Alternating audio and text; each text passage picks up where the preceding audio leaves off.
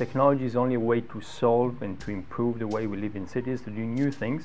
But you shouldn't start with the technology. You should start with um, with what it could do and how it can solve old problems or new problems and help us to have a better urban life. I think there's a potentially revolutionary set of outcomes whereby the emergent self-organizing quality of, of, these media and the emergent self-organizing quality of cities, which has been identified for uh, thousands of years, uh, will start to align and overlap. Computing is literally going to disappear into the everyday objects that we have because computing will be so inexpensive that you'll be able to put it anywhere.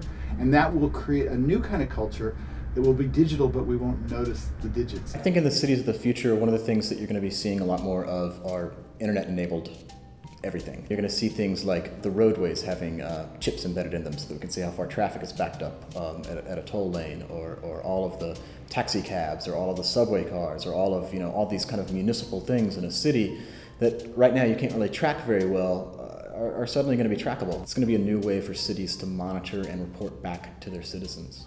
We're trying to improve cities by providing information to passengers. We're trying to make mass transit a more viable form of transportation by telling people exactly when the bus is going to arrive.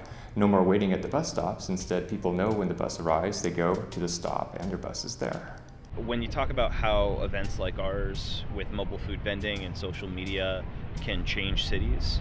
Uh, what we do is we activate spaces that really aren't fully activated all the time. So we go into communities that might have one way, one type of customer base, and we bring enormous foot traffic to locations that might not necessarily get that uh, like a different kind of demographic coming to it. Practically, that can transform communities. It is changing the way that we, as a city government, and I think as a society, act. Uh, by now having the new digital means of instantaneous communication, it is forcing us as a government, for example, to become much more reactive, uh, much more proactive uh, with our services. Uh, they're breaking down the lines of bureaucracy or hierarchy.